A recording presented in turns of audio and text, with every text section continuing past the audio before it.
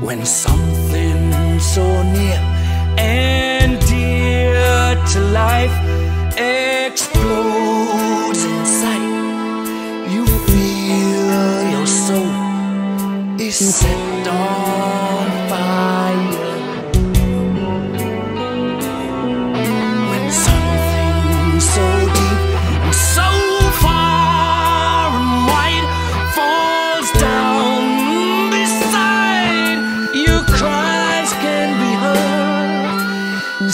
light.